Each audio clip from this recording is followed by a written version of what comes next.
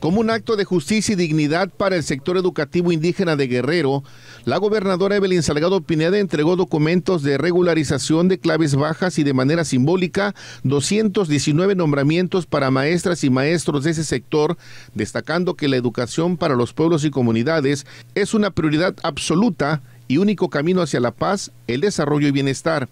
Pues la educación de nuestros pueblos y de nuestras comunidades es prioridad absoluta, así como el único camino hacia la paz. Siempre decimos que la educación es no nada más uno de los caminos hacia la paz, es el único camino hacia la paz. La educación, qué importante es esa gran herramienta que la podamos tener en nuestros pueblos y en nuestras comunidades. Es una herramienta también para el desarrollo y para el bienestar. Ante el secretario de Educación Marcial Rodríguez Saldaña y de maestros y maestros de municipios y comunidades indígenas de Guerrero, la jefa del Ejecutivo Estatal entregó los nombramientos que no son dádivas, sino un derecho ganado y que el gobierno estatal hace válido y lo ha cumplido. A dos años de administración, la mandataria estatal a través de la Secretaría de Educación ha entregado 1.887 nuevas plazas docentes para ingreso al sector,